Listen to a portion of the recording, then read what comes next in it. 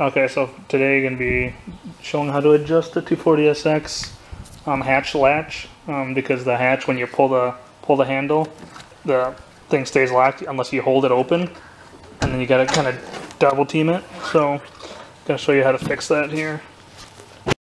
Alright, so first thing you do, obviously, go into the hatch, and there's this panel here that you're going to have to remove. There's about four screws and two clips there.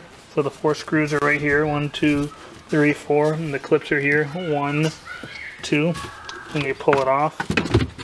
And then here's a latch mechanism here. And there's two 10 millimeters here we're going to want to loosen and adjust. It's super easy, I'll show you how we do that. Alright, so I'm just taking my 10 millimeters here, loosen these little guys up.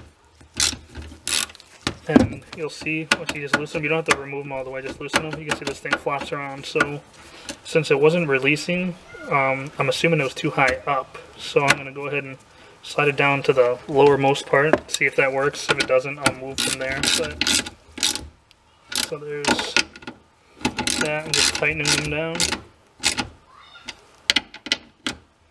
I'm going to leave the plastic off for now for testing it, um, and then I'm going to close the hatch and try to pop it. Alright, I'm going to have somebody pop the hatch with the latch right now and see what happens. That's a good sign. You couldn't hear that noise before at all. And the hatch opens up. Try it again. Yep, that's a good sign. You can actually hear that noise, so there we go. That is it. Basically, there wasn't a whole lot to that. Didn't have to do much adjusting. I just slid it to the lowermost part, so that way when it pops out, pops there, the hatch kind of clicks up like that. So, yeah, that was super quick.